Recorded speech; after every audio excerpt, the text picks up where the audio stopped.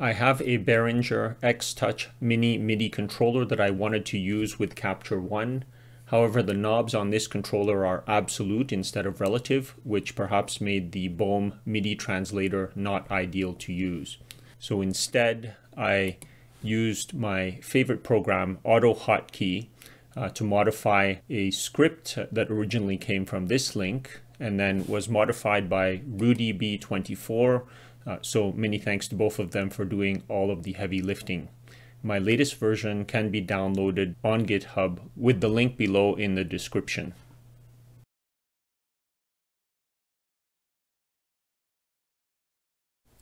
Okay, so here is an example of uh, what we can do with this script. So if, for example, we wanted to adjust exposure, what we could do is we could use the first knob here and if I rotate it uh, clockwise, uh, it'll increase the exposure. And if I rotate it counterclockwise, it'll decrease the exposure. Uh, and same principle for white balance. So a little more yellow going clockwise, a little more blue going counterclockwise. And uh, tint would be the same for uh, button number three for the third knob. Uh, so more magenta clockwise and more green counterclockwise.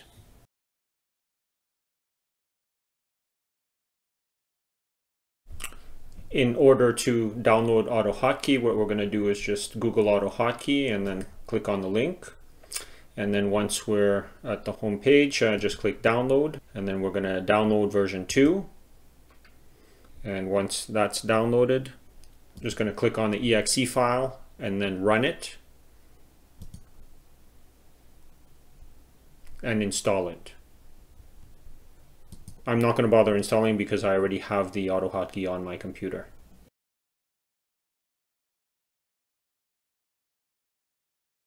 So from the GitHub website, uh, what we can do is we can go to code and then uh, download the zip file. And uh, what we can do is uh, we can copy this folder and uh, place it wherever we want to have it reside. Once we have uh, this zip file extracted, what we need to do is put the xtouch uh, XML file uh, into the proper Capture One directory. So what we can do is open up a new tab here and I'm just going to copy and paste this particular directory, which is the Capture One keyboard shortcuts directory for Windows 10. Uh, so if I copy this and then I put it in my Windows Explorer, uh, it'll take me to uh, the directory that the keyboard shortcuts are placed for Capture One. Uh, I already have this Xtouch XML file here, but uh, when first starting, what you would do is just copy it and, and then paste it uh, to this uh, directory. Next, go into Capture One, and then under Edit Keyboard Shortcuts, we would set the directory to the Xtouch custom profile. If you want to use my keyboard shortcuts, if you want to make your own, that's totally fine, and reassign the keys as you see fit.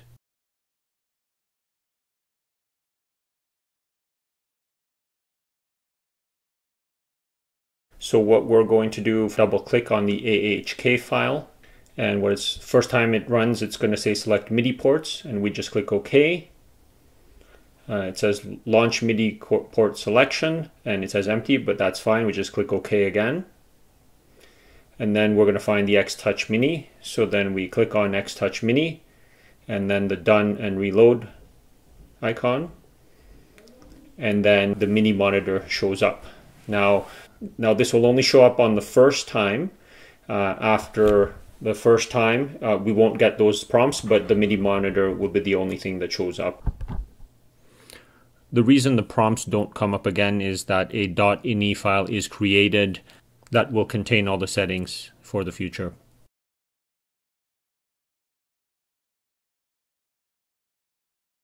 So what we can do is we use the MIDI monitor to see which are the values for data 1 and data 2 so that we can uh, then program it into our AHK script. So let's look at one example where we might uh, uh, reassign saturation to uh, knob number six. So this one here, what we would do is I, I would turn number six and we would see on the MIDI monitor that it, data 1 equals 6 and then data 2 is uh, wherever it is on the location. And then what we would do is we would go into capture 1, okay, and so, and then I would go into uh, edit keyboard shortcuts and then find out what is the value for saturation. Saturation is plus 2 uh, is control alt add and then saturation minus 2 is control alt subtract okay? Uh, so then I know that those are the hotkeys that I would need to do. Uh, so now I've already set it up in AutoHotkey so we already know that data 1 equals 6 and then so uh, so these lines don't need to be changed this one this one or this one uh, but we do need the auto AutoHotkey uh, keys. So I already know some of the shortcuts for auto AutoHotkey. So control happens to be the hat and then alt happens to be the uh, exclamation mark. And to get the add, I suspect it's going to be numpad add. Okay, so just going to go down here and this will be so control R, numpad add, okay.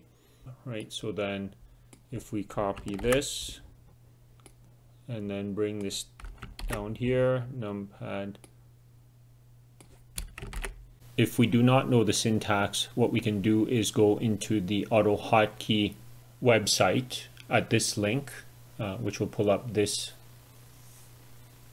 page. And then what we can do is search down to find what the syntax would be for a particular key. Or what we can do is find it using control F. And then in this case we can see that the for numpad subtraction it's numpad sub. And then change this to sub. And then change this to sub as well. Okay. Control S to save it okay. And then of course we come down here to reload the script. And then we'll check it out in capture one. Okay. So we'll close this. And we're going to see if this saturation slider moves when I move number six. Okay.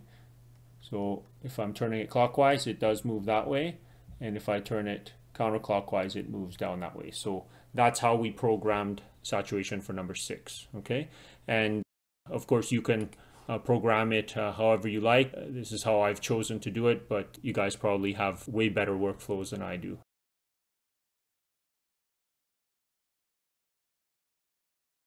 For each knob, there are three if statements.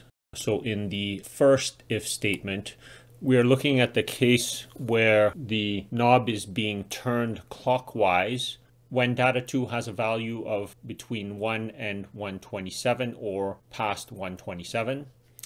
In the second if statement, what we are looking at is if the knob is being turned counterclockwise and the data 2 value is not zero. And in the third if statement, what we're looking at is if the knob is being turned counterclockwise and data 2 is turned all the way off so it's uh, completely to the left and has a value of 0.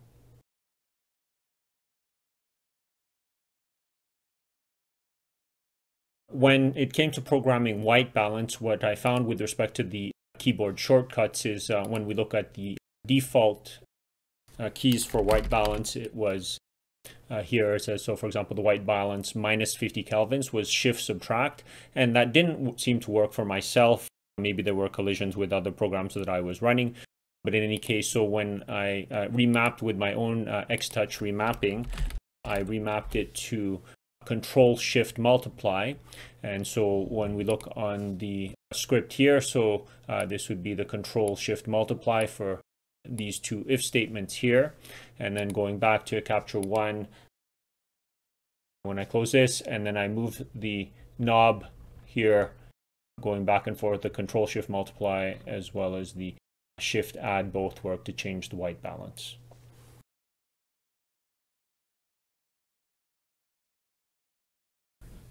Please note that I am neither a programmer nor a photographer, so at present I have not assigned knobs to the second row, which can be done with this MIDI controller by toggling to B. Uh, but at some point as I get more familiar with Capture One and a little more familiar with editing, I will probably add to the current script. When adding a second row, uh, data 1 will have a value of 11 instead of 1. So as you can see, I'm on the A row here, but if I switch over to the B row, right, uh, and then I look at my MIDI monitor, when I try and turn the knob here, you could see that the data 1, so if I'm turning knob number 1 clockwise, data 1 it has a value of 11, and data 2 has the value from 0 to 127, right? And then knob 2 it data one will be 12 and so on and so forth. So it starts at 11. Now, so if we switch back to the A layer here, and then we move knob one, data one goes back to number one, right? And then knob two is two, three, so on and so forth. Thanks very much for watching this video.